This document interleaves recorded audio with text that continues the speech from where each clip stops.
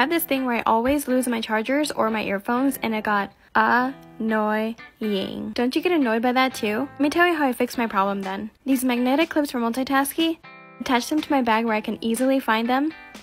Thank me later.